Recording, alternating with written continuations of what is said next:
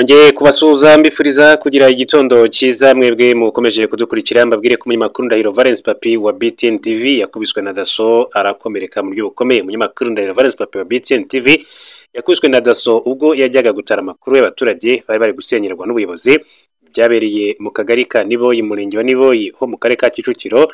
Aho uyu munyamakuru yari yagiye gutara amakuru yahari hari gusenywa inzu z'abaturage. Umunyamakuru avuga ko yageze aho bari gusenyera abaturage maze agakuramo ibikoresho by'akazi ngo atangire gufata inkuru. Ubwo yatangiraga rero gufotora yasagarariwe na daso zimubuza rero gukora akazi nk'uko yabigarutsweho. Akomeza avuga ko ubwo yari ari gushyamirana n'abo badaso umwe muri bo yamukubise igipfunsi ku munwa arakomereka ndetse na mikoro ze zambarwa mu gatuza bahise bazitwara gusa nyuma yaje kuzisubizwa. Ubwo yari ari gushyamirana na daso abaturage bari aho babonye bikomeye cyane maze baraza bamukiza abo badaso bari bari kumukubita. Ndahiro valence papi akaba yabwiye ikinyamakuru ukwezi ko uh, yavuganye n'umunyamabanga nshingwabikorwa w'akarere ka kicukiro mutsinzi antoine amubwira ko iki kibazo bagiye kugikurikirana uwaba yakoze amakosa agahanwa. Abajijwe niba yiteguye kujya kurega umudaso wamukomerekeje yavuze ko mu gihe inzego z'ubuyobozi zidafatiye ibihano wamukomerekeje yahita agana inkiko kugira ngo rero arenganurwe. Nubwo yasagarariwe ndetse kandi akanakomeretswa ndahiro valence papi ameze neza ndetse kandi anakomeje akazi ke ka buri munsi. Nk'uko yabibwiye itangazamakuru mu yandi makuru nyanza umutangabuhamya ushinja mu rubanza rwa mico myiza yabaye umushinjura byagenze gute?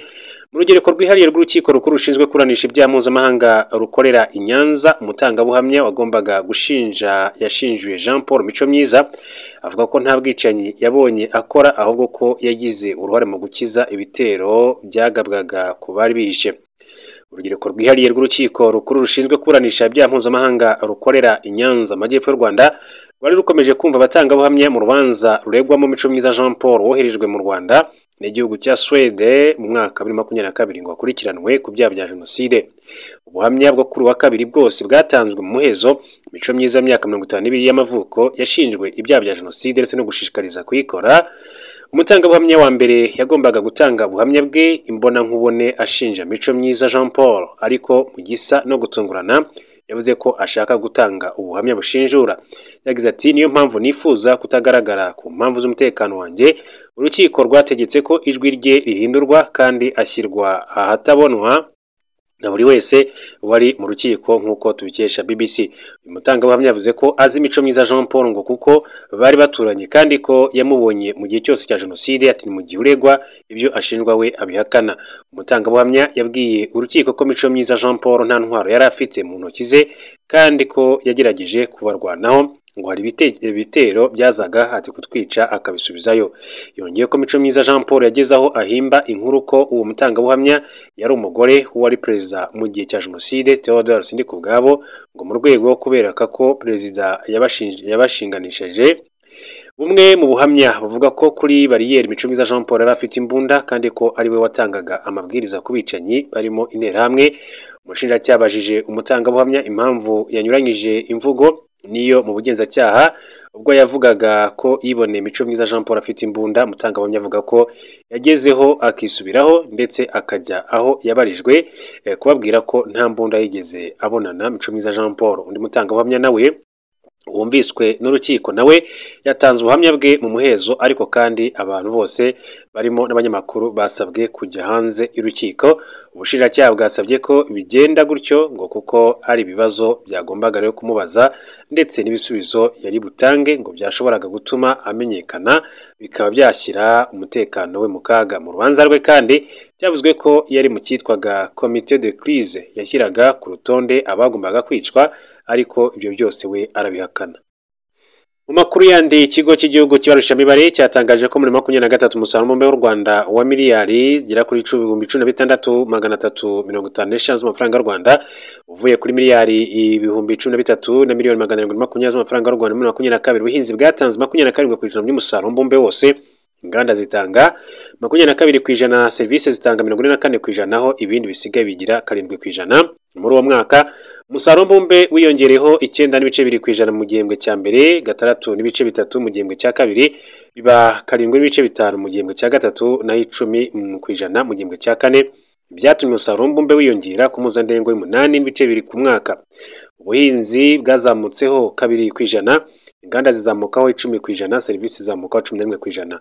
Umusaruro w'ubuhinzi wazamuwe no kwiyongera kwa karindwi ku ijana k'umusaruro w'ibikomoka ku bworozi. Ku rundi ruhande ariko umusaruro w'ibihingwa ngengabukungu wamanutseho kane ku ijana bitewe n'igabanuka ry'umusaruro w'icyayi cya kawa. Mu nganda umusaruro wazamutse bitewe n'izamuka rya cumi na kabiri ku ijana ry'imirimo y'ubwubatsi ndetse n'izamuka rya cumi na rimwe ku ijana ry'umusaruro w'inganda zitunganya ibintu bitandukanye. Umusaruro w'inganda zitunganya ibiribwa wazamutseho cumi na kane ku ijana. Umusaruro w'inganda zitunganya imyambaro n'inkweto wazamutseho makumyabiri ku ijana. Umusaruro w'inganda zitunganya ibikoresho bya plastique n'ibiva mu binyabitabire wazamutseho makumyabiri n'imwe ku ijana. Ni mu gihe umusaruro w'ubucuruzi buranguza ndetse n'ubudandaza wiyongereho icyenda ku ijana uw'amahoteli na resitora uzamuka kuri cumi n'umunani ku ijana wa serivisi z'ikoranabuhanga n'itumanaho uzamuka mirongo itatu na gatanu ku ijana ubikorwa by'ubwikorezi uzamuka cumi na gatatu ku ijana aho ubwikorezi bwo mu kirere bwiyongereho makumyabiri n'icyenda ku ijana aho ubwikorezi bwo ku butaka bwiyongeraho icyenda ku ijana nk'uko bagiye babigarukaho rero akaba ari umusaruro mbumbe wakomeje kugenda uzamuka cyane imbere mu gihugu cy'u Rwanda. Reka amakuru yacu tuyasoreze kuri inkuru ivugwa mu karere ka Musanze aho abasore icyenda batawe muri yombi bakekwaho urugomo. Polisi y'igihugu ikorera mu ntara y'amajyaruguru yatawe muri yombi. Abasore icyenda bari bazwiho gukora urugomo. Rwo gukubita no gukomeretsa abaturage bakorera muri santere ya Bisate mu murenge wa Kinigi mu karere ka Musanze. Aba basore bose bakundaga kwirirwa mu isantere ya Bisate banywa ibisindisha bamara gusinda bakarwana. Bakubita buri wese kugeza ubwo isantere y'ubucuruzi yafungaga imirimo kuko ngo imirwano yabo yangizaga byinshi.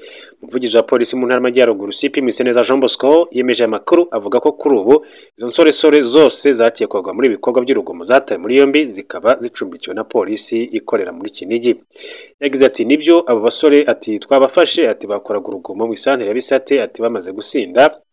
Bagakubita abantu bakabagira ngo bakanabakomeretsa. Atu bacumbikiye muri sitasiyo ya Kinigi kugira ngo abatangiwe ibirego bashyikirizwe ubutabera abandi bajyanwe mu kigo ngororamuco bigishwe. CP Mwiseneza akaba rero yasabye abaturage kujya batangira amakuru ku gihe kuko abo bafashwe bagiye bakora urwo rugomo. Inshuro zirenze imwe mu bihe kandi bitandukanye.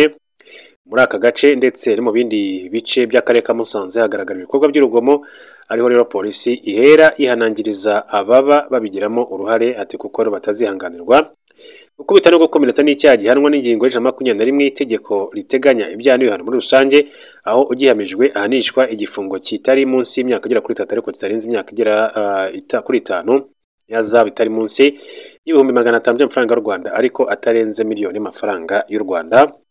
Rero ni ibyaberaga mu karere ka Musanze gusa inzego z'umutekano polisi y'u Rwanda ikaba yakoze ibishoboka byose kugira ngo ibashe guca muri yombi. Aba basore bari bamaze kugeza urugomo rwabo ku rwego rwo hejuru aho ngo banafungishaga n'abaturage ibikorwa byabo bigatuma mu by'ukuri batabasha gukomeza ibikorwa byabo nk'uko bisanzwe.